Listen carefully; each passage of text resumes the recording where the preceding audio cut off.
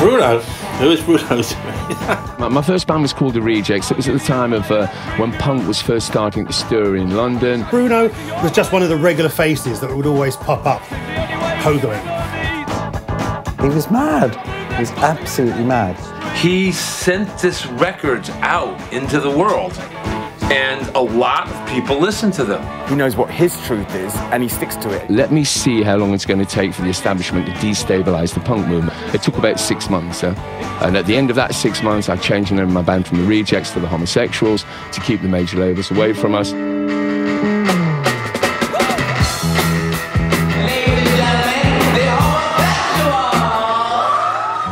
It was absolutely genius to call them homosexuals because none of them were, which, which I, we, we always thought was quite a sort of a true punk thing to do.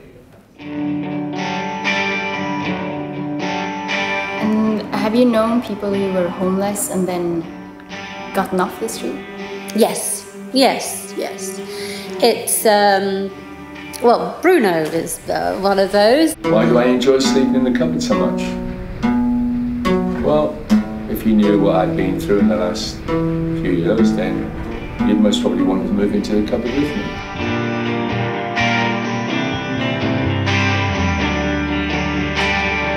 We knew to survive we had to work within the system. I think he always refused to work within the system.